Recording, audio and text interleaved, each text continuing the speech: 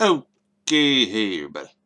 This is gonna be, well, basically me giving how I feel about this whole, as you can tell from the description, this whole dad in Georgia leaving his toddler son in a hot car and it killing him.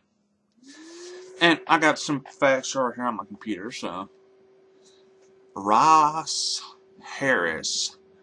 First off, let me say, you're a piece of garbage and so is your wife. From what I'm seeing on the uh, seeing in the by this article on from what I've been seeing on the news anyway. They live in Cobb County, Georgia. Ain't nothing wrong or in ain't nothing wrong with being in Cobb County. I, I think I got a friend that lives there or two maybe. I don't know. Okay. First off, these two, Ross Harrison and his wife. I don't know her name they looked up hot car deaths.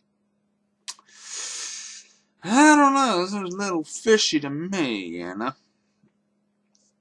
But that could be just that could be just a little uh, circumstance or coincidence, you know.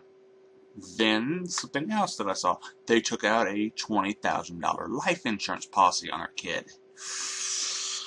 Ain't looking too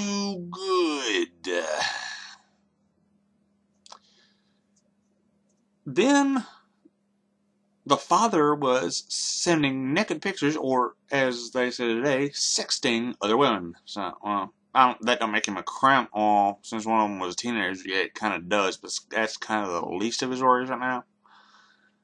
I don't know. Accidentally sending some a young person naked photos, it's one thing killing your kid is way up here. Anyway, then the dad puts light bulbs in his car during business hours, which ain't nothing wrong with that, except for the kid was still in there. I'm sorry. Most kids I know would be making noise and stuff. Methinks this guy is lying. Anyway, then the wife uh, makes herself look, well, let's just say, less than innocent. When the wife was told by the uh, daycare department, you know, she, the, that her son was not dropped off, the uh, she said, "Oh, my husband must have left him in the car." That is uh, a really bad coincidence, or this was planned. I'm leaning toward planned. She said, the mom said she would not bring him back, would not bring him back if she could. I don't know. Y'all are looking more and more guilty.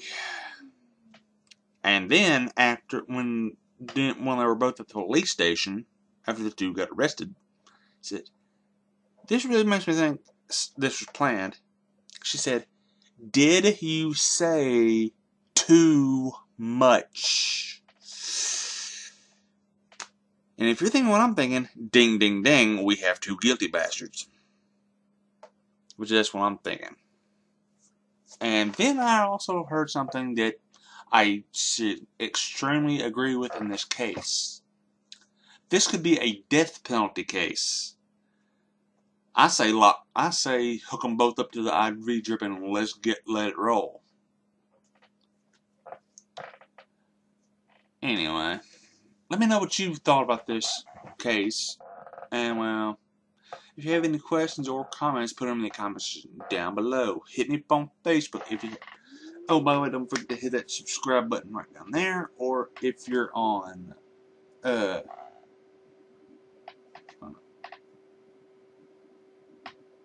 Or if you're on the app, right over there.